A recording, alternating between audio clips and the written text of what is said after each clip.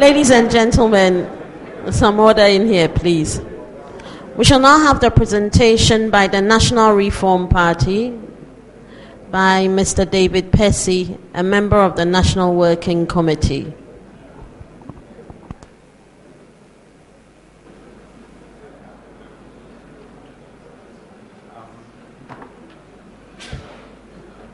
Good morning, um, the panel, uh, the EC, um, ladies and gentlemen. Um, I want to speak to the views of the National Reform Party. You may have heard that we are dead, but we are not. Um, the National Reform Party, since its formation in 1999, has been active in the IPAC process. Thank you. The National Reform Party, since its formation in 1999, has been an active participant in the IPAC process. Um, we are proud of the electoral system that we have collectively put together which incidentally I recommend to the people of the United States, which is robust, which has all the mechanisms in place to address whatever issues, real or imagined, that any parties have with the current electoral rule. And in that we acknowledge the contributions that the NPP has made. Um, I heard that we cannot criticize, but I presume we can praise.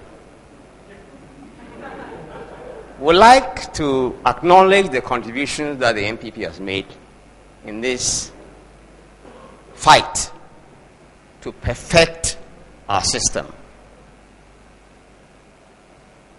Where we have electoral, I mean, the, the parties having the opportunity to be represented at every level in the electoral process.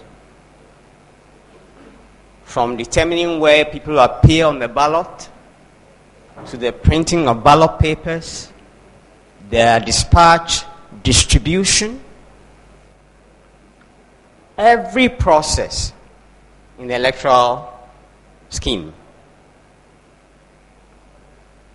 And we are pained to note that until the uh, August the 28th, when the NPP unleashed a series of uh, allegations on us,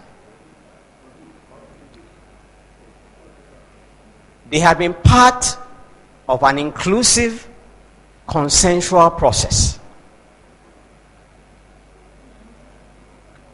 They have been part of a, an inclusive, consensual process. Indeed, their lead presenter and their general secretary were part of those processes. We cannot say how come there was a break in communication between that leadership and the flag bearer and his deputy, or sorry, his vice, said that they came out with what they did. But since then, thanks to our collective pampering, we have managed to create a national crisis out of something that may be entirely the figment of some people's imagination. And this thing does not belong to the EC. As a statutory body, which is supposed to be neutral in this matter, it cannot be the, EC, the business of the EC to address this kind of mischief. And many people have made references to this four year cycle, more or less, where in the run up to elections, there's a sense of doom and panic. People take their monies out of our country. They send their wives and their children off. They stock up on water. They stock up on food.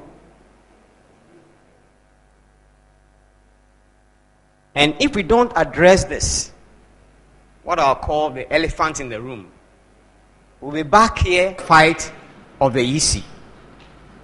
To put it on record, we believe that the electoral system we have now is robust and fully capable of addressing any problems that any parties may have, actual or imagined. But if we don't address what we see as the elephant in the room, we will permanently have this problem. Where, on any flimsy basis, matters are raised, fears are stoked up, and everybody feels that our country is about to come to an end. And we insist that that responsibility does not lie with the EC, it lies with other political actors. Now, we believe that this um, four year cycle, or is it ritual, has its roots in political traditions that are not born out of democracy, but have their roots in feudalism, which insists that they have the right to govern. They will not work. They will put up inept and incompetent leaders. And they will plague us.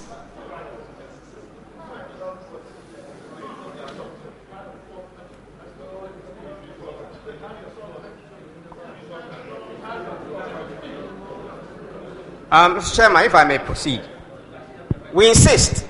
Um, I have to warn you to be careful what language you use. Mr. Mr. Chairman, I, I take your warning in good faith. But we have a duty to be blunt. Yes, you can be very blunt. We are being but Please don't incite. Oh, Mr. Chair. Thank you very much. Your caution is taken. But we insist that it is time that we all took our collective heads out of the sand.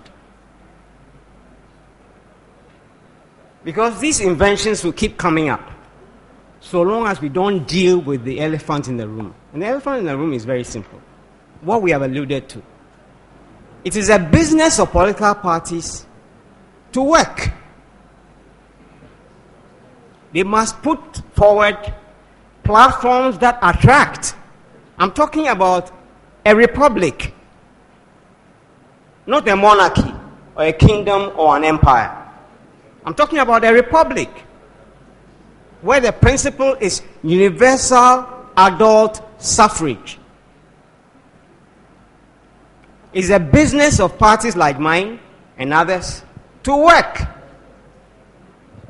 to prepare platforms that reflect the concerns of the citizenry and attract them, to put forward candidates who can articulate their platforms.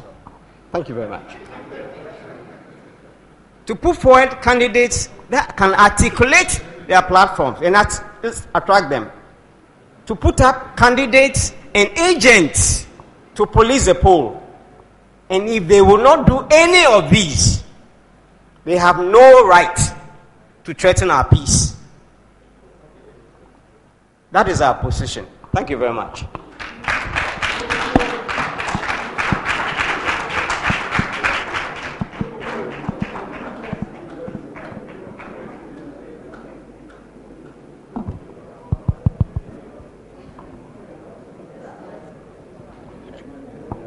Thank you very much, Dr. Percy.